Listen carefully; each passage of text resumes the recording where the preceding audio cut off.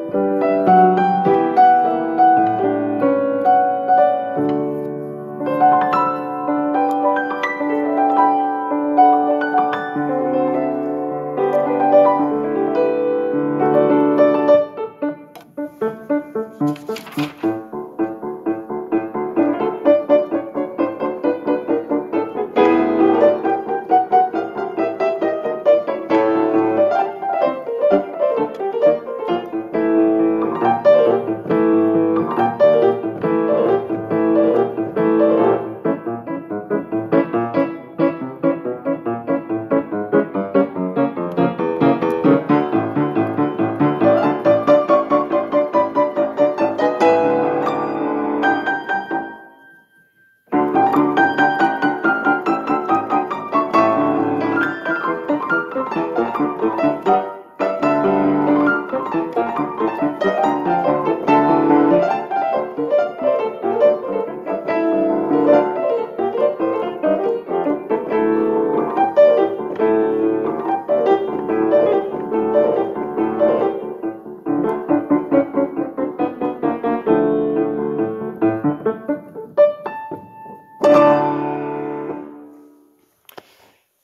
And this next piece is more of a contemporary piece, but if I'm chosen for the actual performance, I will be doing uh, Chopin, which I'm still learning, but this is the contemporary piece.